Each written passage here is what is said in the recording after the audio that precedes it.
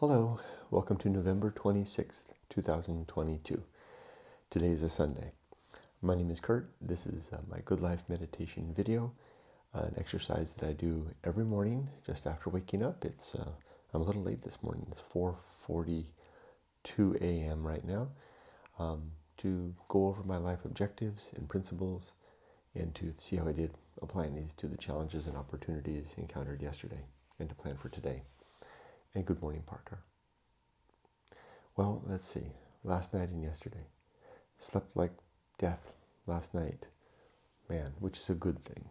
Um, I think even before my, my head hit the pillow, I was out and then uh, went all the way till the alarm, with the exception of one instance when uh, the neighbors next door, uh, Dante and his wife, came home late at night. Maybe I checked the clock. Maybe it was like 1:32 a.m. And um, they've been out having fun. The the fun of the mid 30s, right? I mean, young married couple, not no children just yet, lots of friends, out uh, um, every, almost every weekend. They're doing something interesting, both Friday night and Saturday night. And uh, they, I don't think they even have a TV in their home. They just uh, have music, and they're they're very good about it. They they play it, but it's not loud um, even with the windows open. And they have um, an eclectic, interesting group of friends. Uh, they're interesting people. Uh, they drive classic cars. Dante drives a classic Mercedes, and his wife, I don't know her name, she drives a classic Volvo. And uh, they've got lots of interesting character. He looks Dante looks just like Freddie Mercury. Anyway, so they I heard them just as they were as I was going down to bed. They were standing outside in in this uh, courtyard area, uh, in front of their house there and with their friends. And they were talking, they were going to go have a, a bonfire on the beach um, together. And uh, they, they did. And they didn't come back until late, early, early in the morning, 1.30, 2 a.m. And it sounded like they had a fun, a fun time. That was the only thing that woke me up. That indicates, if I had a good night's sleep, that two things are going on. One, that I've got my stress under control at work, and I do uh, largely because my projects are in a pretty good shape. I've got a couple of issues. Um, also because I feel distant and remote from them right now, being uh, two days into a four-day weekend. Um, stress really can't really seem to touch me, and we're going into a, a long um, stretch now between Thanksgiving and Christmas, which is also a quiet time. I need to take some time off. I, I promise to do that. I probably told my boss I would be doing it. I haven't given him those dates yet. I need to do that. Anyway, um, yesterday was a mix of really good and opportunities and really interesting challenges. The opportunity was that uh, um, just the opportunity to go to the damn beach twice in one day. Uh, swim in the ocean twice and sit on the sand and read my book and get just just soak up the sun. I uh, can't tell you how much this means to me. It was the it's part of the dream of uh, California life for me is to be time spend time at the beach and um, I thought that living in Irvine would be close enough. It wasn't. It's about a it's about a 15 minute car ride down Laguna Canyon, even living in where we, where we did at Center Point near the Irvine Spectrum, which is right at the edge of Laguna Canyon. I, I didn't go, but to the beach maybe three times, four times a year. There's kind of a sweet spot within range, and I'm in that sweet spot now. I'm, I'm, I'm a mile and a half from the beach now, not right on it, um, but this is plenty fine. In fact, where we are right now kind of adds to it because I hop on my motorcycle and motor. I've got a little motorway down through the, through the streets. I kind of I get to get be out there and mingle and um, um, fraternize with the with the local community on my motorcycle. I, bec- I become one of the characters, one of the many many characters that Huntington Beach seems to uh, produce or draw. Draw in my case, and I fit right in, riding down the riding down the streets in November with. Uh, nothing but a swimsuit on and a, and a, beach towel around my neck and a helmet on and my boots um, and my riding gloves. Uh, in Laguna, that was a sight. Anywhere else, that was a sight. Here, hey, it's a local. I like that. plus, I, I really um, walked the dog yesterday. Had some good, was good walking, walking opportunities. I was telling you, Nico, I really like, I really like the way that. Excuse me, a second here. I really like the way that the days are unfolding when uh, without work. You know, getting up early, making this video, uh, getting a chance to spend time with the dogs, long leisurely walks while I'm reading my book. The dogs are sniffing, um, and then uh, come back and answer comments on YouTube and social media, and then uh, upload do my first blog post in the morning. Um, then do whatever the hell I want until noonish lunch. Um, have lunch where I want. We'll do what I want. Uh, if Miko's available, we'll have lunch together. Uh, yesterday, she was uh, uh, taking care of stuff, and I was out doing. I was going to do some uh, shopping for some birthdays, and um, I was out and I went out and had lunch on my own at Duke's Burger here in Huntington Beach, which was fun just to be out and about on the bike again. Anyway, I just go on and on. I just can't get over this life. I know it won't last. It'll fade. It'll, it'll, um, it'll become uh, sober once again. I'm in the giddy stage right now, the honeymoon stage, but it won't be the same as any place else because I'll always have this beach right there. And I've always been one to avail myself of the beach. That was true in, in Santa Barbara, where I did live close enough to go frequently, and I did go uh, daily for over a year and didn't miss a single day and swam every day. So I, have got it in me uh, to do. And of course, that was the case in Moonstone Beach in Humboldt County. Now, as for the challenges yesterday, I did have a challenging one. Got me by surprise. I do get ambushed. In fact, those are the ones that I'm most vulnerable to are the ambush moments. And we went out to dinner. Now, Chris and Emily had been over the night before to celebrate Thanksgiving with us. We had a nice uh, Japanese style Thanksgiving feast, if such a thing exists, and it does.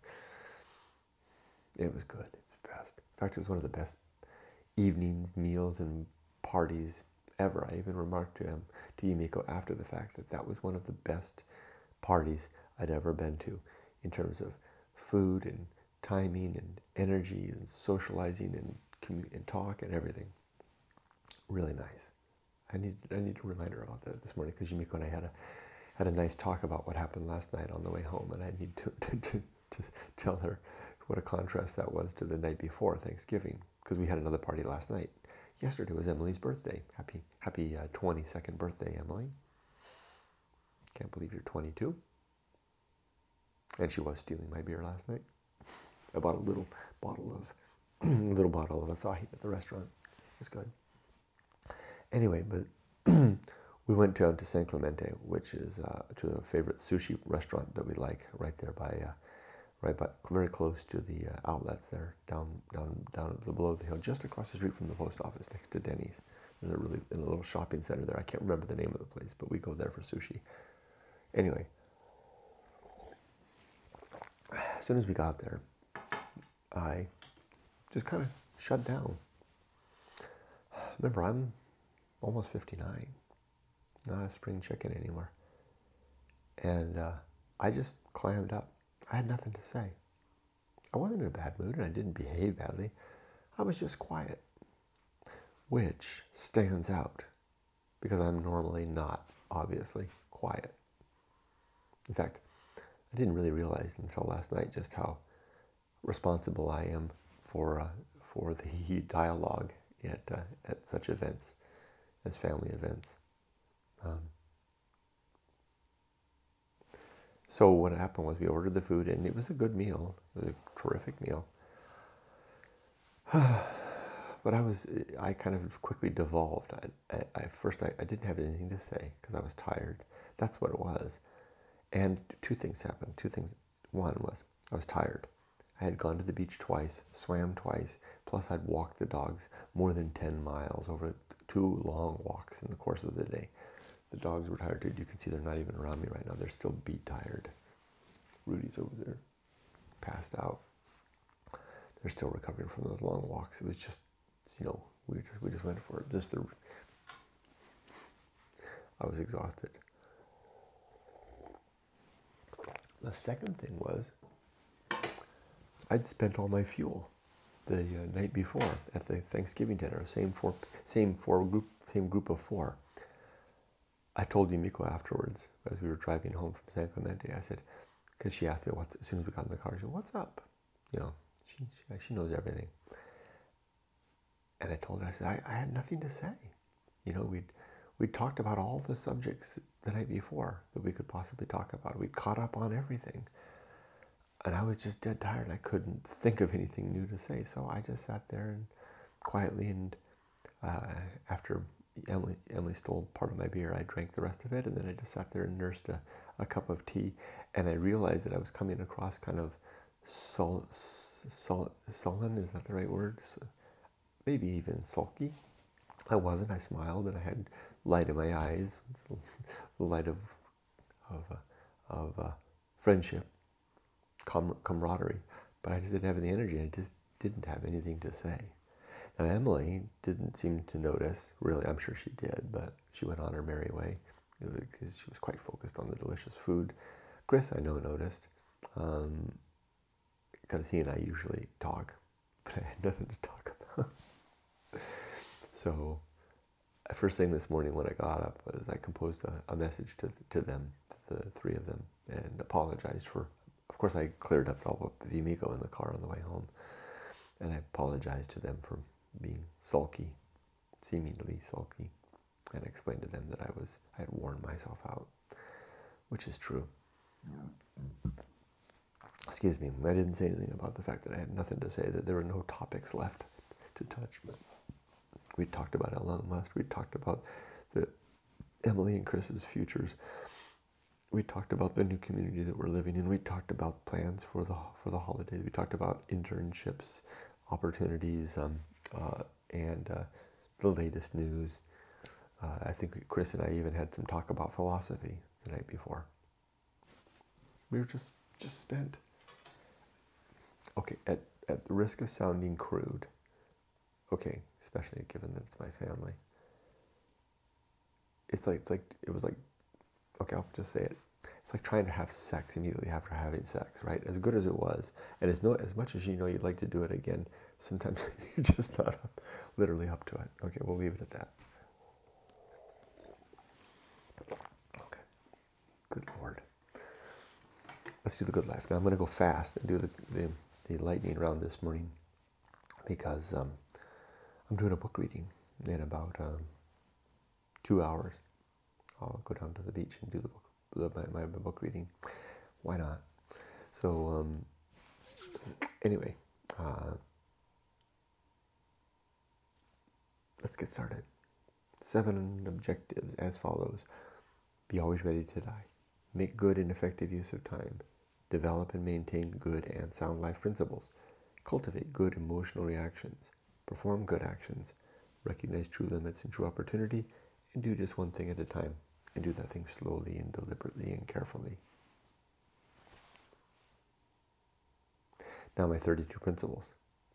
War, reason, homunculus, anchor hold, home of good and evil, purpose, atomic principle, nature, pirate ride, maturity, social principle, public speaking, distraction,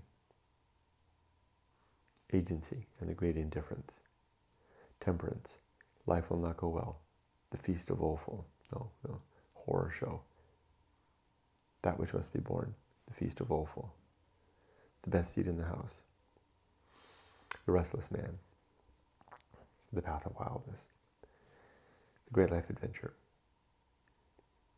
the risk of avoiding risk, sin and damnation, complete oblivion, bullseye aim, uphill climb, arena and utility. Nothing is enough. And the principle of fun. Felt like I got them all. Did I do the season of philosophy? The season of philosophy. That's the one that kind of slips out the cracks sometimes. As for now and today, let's begin the day. I'm going to uh, finish this, finish my coffee, upload uh, upload this. I'll read my Bible, and then I'll uh, feed the dogs, walk the dogs, um, and then I'll prepare and get to the beach and do my, my reading. I wish you all the best. Let's, let's all have a good day. Remember to be safe, but not too safe. Take care.